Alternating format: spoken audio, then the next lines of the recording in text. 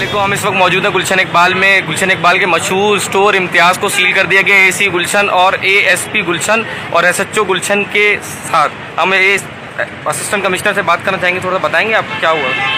جی social distancing کے حوالے سے کوئی بھی اندر خیال نہیں رکھا جا رہا تھا۔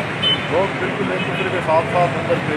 وہ جو لاک ڈاؤن کی جو اقدامات حکومت نے لیے تھے، وہاں پہ ان پہ بالکل وہ اس کو اس کا عمل نہیں ہو رہا تھا۔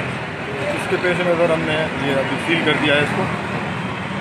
ایس پی صاحب جی بیسیکلی ایسا تھا کہ انتظامیہ کی طرف سے ہمیں یہ یہ بتایا گیا خود بھی وزٹ کیا تو پہلے ہم نے ان کے دکانداروں کو بھی کافی دفعہ بتا چکے ہیں کہ سوشل ڈسٹینسنگ کا خیال رکھیں۔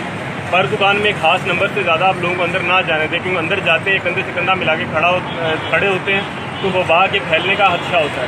باہر تو ہم خود سرکلز بنا کے ہمارے والنٹیئر فورس دیا جو انشور کر رہی ہے کہ لوگ لائنوں میں پراپر تین تین فٹ کے فاصلے سے کھڑے ہوں۔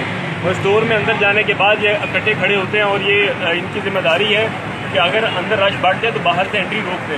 مگر وہ نہیں روک رہے تھے تو کے سی صاحب نے بھی ہمیں یہ بات بتائی۔ اس طرح سے ہو رہا ہے تو پھر ہم نے آ کے اس کو سیل کیا۔ ایس صاحب کچھ بولنا چاہیں گے؟ بس وہ سوشل ڈسٹینس کا مینٹین نہ رکھنے کی وجہ سے اس کو جو ہے وہ سیل کیا گیا تاکہ عوام کو زیادہ سے زیادہ اس ڈیزیز سے محفوظ رکھا جا سکے۔